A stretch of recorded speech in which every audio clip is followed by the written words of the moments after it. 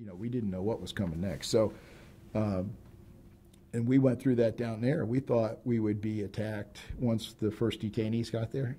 We thought there was a real good chance of some sort of, of guerrilla attack or air attack, just symbolic, even if it you know was not uh, completely successful, but just in some way to to make a strike there.